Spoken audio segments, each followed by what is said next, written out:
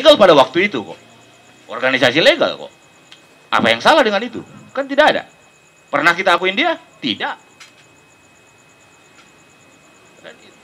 Itu, maksudku. Jadi ini krusialnya di situ. Ketika nanti tiba-tiba ditarik dukungan, selesai barang tidak tidak lagi memenuhi syarat administratif. Konon lagi kita bicara soal perubahan nama, konon lagi kita bicara dan lain-lain. Karena syarat administratifnya. Dan ini politik. Kenapa teman-teman dulu panitia dalam evaluasi kami di internal tatap nih ya melihat perjalanannya? Karena terprovokasi. Sudah deal-deal politik sudah berjalan kok. Bahkan saking kesalnya Gupsu waktu itu, dia mendahului, dia keluarkan surat soal persetujuan dan pemisahan harta kekayaan deket wa. Sudah ada Samsul itu. Tinggal pansusnya. Jadi artinya waktu itu pansus ini setuju atau tidak setuju rekomendasinya nggak ada persoalan karena sudah RUU. Inilah yang kemudian dulu pertentangan antara kelompok Jakarta dengan kelompok Medan.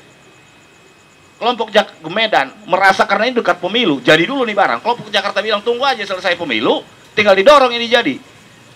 Dan itu terbukti ketika kita melakukan audiensi dengan Depdagri. Bos, Bang, Pul, 2010 barang ini harus udah jadi sebenarnya. Jadi lagi-lagi politik. Tinggal kita bagi peran. Siapa yang main terbuka, siapa yang main tertutup. Siapa yang menjahit semua kepentingan-kepentingan ini. Ada dua kutub yang hari ini sedang bertarung. Berikut turunannya, ada raja-raja kecil. Ada Bupati Taput, ada Bupati Dosmar, ada Bupati ada Bupati yang baru, ada Bupati ini yang sedang juga membangun kerajaannya masing-masing. Ini juga menjadi tantangan kita ke depan bagaimana teman-teman pemuda, bagaimana kita melakukan negosiasi soal kepemimpinan, sirkulasi kepemimpinan di Tanah Batak. Sumatera Utara selalu dropping gubernur. RE Nenggolan sudah melakukan lobby mendekati Effendi Simbolon. Begitu di terakhir, Effendi yang maju. Begitu dia kampanye, kita akan bangun bagan siapi api. Kau demo, kau geografimu aja kau nggak hafal. Kim konon lagi persoalan rakyat hari ini sinar harapan, stigma yang dibangun sinar harapan bahwa tapanuli peta kemiskinan itu harus kita hapus. Jadi waktu itu ketika proses peradilan teman-teman ini berjalan, Selasa kami sidang waktu itu ya. Jumat kita biasanya pulang lah. Pulang lawak kau bayangin ke Tarutung sana. Ke Balige ke Tarutung. Bekas gempa tahun 87 masih ada, Wak. Masih ada di, di, di pasar Tarutung apa pasar pasar Balige itu. 87 gempa kan. Tarutung gempa sampai sampai hari ini. Aku menangkap sinyal gempa Samosir hari ini sebagai syarat. Alam semesta sudah mulai marah. marah. Kalau itu udah marah berarti amanat harus kita ambil. Terima kasih. Oke. Tepuk tangan dong buat kawan-kawan untuk masukan dari abang-abang ini. Uh, jadi mungkin uh, untuk masukan dari Bang Mangapul kan udah membuka lah ya Bang Amrin. Jangan biar nggak pesimis lagi abang ini. Harusnya dibangun lagi katanya. Jadi uh, buat kawan-kawan biar nanti lebih enak diskusi santai. Masih ada uh, yang mau bertanya atau apa gitu? Masih ada kawan-kawan?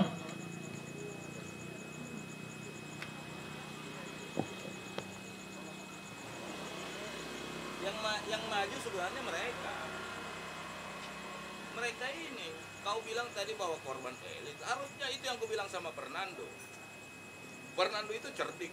Kau pikir dulu aku nggak negosiasi dengan teman-teman PBHI? Eh si Chandra dibilang, oh, oh bukan gue bilang, ini kebebasan berekspresi, kebebasan orang. Soal kau setuju atau tidak itu soal lain, tapi hak untuk menyatakan pendapat itu harus dilindungi undang-undang gitu loh.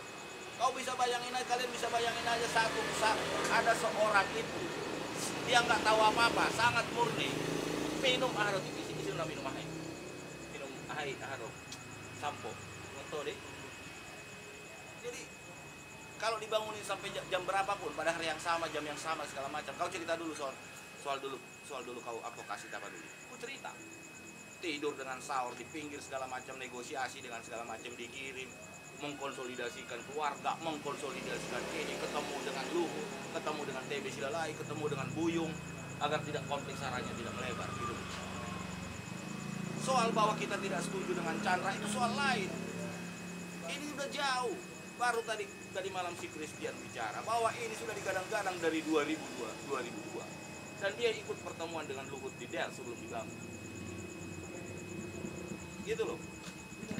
Satu, karena ini sudah RUU. RUU itu kan ada pembahasan, itu rakyat itu.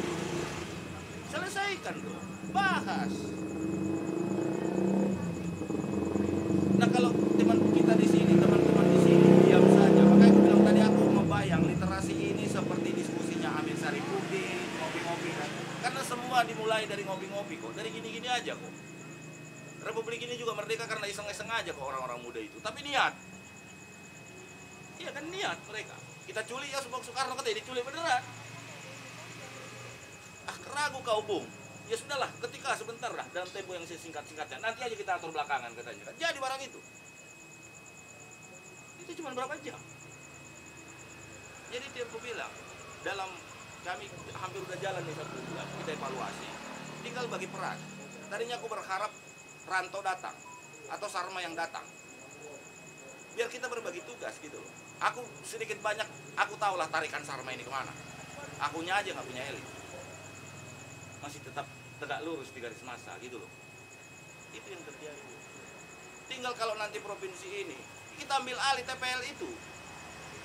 Kita ciptakan amdalnya yang baru. Kenapa? Kita negosiasi kalau kapitalis tidak bisa kita lawan kita jinakan kalau tentara kita bisa la, tidak bisa lawan kita jinakan siapa yang mau melawan tentara? Jam 4 pagi dia udah pusap nah kawan-kawan jam satu aja belum bangun. Gitu loh. Itu fakta. Ya enggak jadi soal aku apa? Pernyataan segala macam kuanggap itu lip service. Yang dalam bayanganku dulu Bodan adalah badan otorita seperti Batam dia otonom. Bentuknya kepres. Jelas. Dan jangan dikelola orang Batam secara profesional. Dia bangun master master plan. Dia bangun kota kota kembar dengan penang misalnya dengan segala macam itu. Bukan seperti ini. Nggak punya apa-apa. Bingung dia. Karena koordinasi dia dia mau koordinasikan bocoran dari dalam ketua yang lama itu Bodan itu BODT itu gerah dia. Dia bilang ada 10 KSPN yang lain itu gampang. Yang kalau ini banyak portalnya dia bilang. Di sana salah di sini salah. Iya. Dan tidak ada anggarannya balik itu perpres perpres itu pasca reformasi itu habu habisin aja karena habis ngabisin anggaran. Nggak ada no, nggak ada nomenklatur. Jadi lagi-lagi politik jangan buta politik jangan seolah-olah ah, itu urusan politik. Kau merokok aja bagaimana cara itu udah politik. Kau minum kopi aja ini proses politik. Bagaimana distribusinya sampai ke literasi ini? Itu politik. Barus itu itu kok itu pelabuhan terbesar. Ketika dia tutup migrasi lah orang Batak. Masuk Toba Samosir segala macam sampai Medan. Siapa yang membentuk Medan? Ya migrasi orang-orang baru sana. Yang kemudian bernegosiasi dengan diri-diri penelitian Kipotjen tahun 55 si antar itu ya memang orang migrasi. Maka jangan heran di tiga dolok itu banyak orang Batak di Bali. Karena migrasi gitu pindah dia. Tangan orang betong jualan nah hamijuk kan di Barus. Kan hamijuk maka aku bilang perang melawan si perusak kemijun adalah amanat sejarah orang Batak. Dan dalam sejarah kekristenan apa yang dikatakan? Tiga orang dari Majus datang membawa apa mereka? Hah? membawa apa kemenyan kan apa bahasa kemenyan? Kemenyan itu kedua sumbernya. Kalau nggak di kalau nggak dihumbak ya di Yaman. Itu aja. Sehingga datanglah gujarat gujarat itu gitu loh. Oh ada kerupanya yang lebih bagus di sana di ini agak menyimpang ya. Anak-anakku ku ajarin ini ini baca Tan Malaka. Kalaupun kau mengikuti perkembangan sekarang K-pop itu ya apa apa, apa silahkan. Tapi kau silahkan waktu biar kita tahu makanya kau bilang tadi apa potensi Tapanuli luar biasa bos. Luar biasa. Luar biasa. Potensi itu luar biasa. Hari ini siapa yang menguasai tambang emas dan migas di sana? Astra bos. Hitung-hitungan ada tim kecil yang kau buat samping sayapnya tatap tuh ada tim kecil yang aku coba suruh cari 6 triliun 6 triliun per tahun. 6 triliun bisa kita hasilkan per tahun 6 triliun 6 triliun itu kamu bayar pokok 6 triliun kita bangun ano dalan ihung bahasan dalan di Samosira Kemudian juga nanti kan kita bicara bagaimana negosiasi dan segala macam kita antara Toba dan Samosir. Kan itu nanti ya. Ini ini ini yang harus kita hadapi sebenarnya ketika ini barang jadi. Karena secara ekonomi orang Toba itu sudah lebih dulu maju. Karena itu lintasan. Bolo kami itu per Samosir ono, epat parau podo, epat toping dau. Ikut julu bangun udah semangat doa. dan itu kemudian ditanam dalam benak kita eh baru itu baru ini stigma stigma itu harus selesai harus sudah selesai jangan itu jadi kalau teman-teman masih tidak yakin ragu segala soal penamaan soal yang lain hal-hal yang bisa kita negosiasikan kita mau usir nggak kita mau bersihkan nggak dan Toba dari Aro Aro teh le nama bolok kon Teddy Baby Ya, di tiga ras. Ada Grindro. Ah, sampai hari ini kok apa susahnya itu cabut itu? PMA katanya, aku apa? PMA di pusat kok cabut aja izinnya? Apa apa susahnya? Pertanyaannya punya political will gak? Punya niat tidak? Punya mensrea tidak? Makanya aku agak kritik waktu itu ketika teman-teman Yayasan Pencinta Danau Toba sebelum dia matang dan tidak diikutin gerakan massa yang masif, dia langsung lempar ke pengadilan.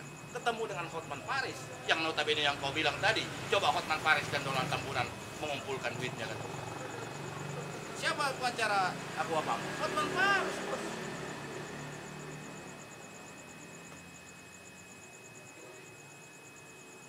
Donald bilang sore lah, silalah aku udah nggak tertarik dalam dunia politik. Bang, daripada kau bangun di sana-sana kau belanja-belanja proyek, kenapa tidak kau investor sendiri? Kenapa kita harus berunding dari luar-luar untuk cari investor? Kenapa?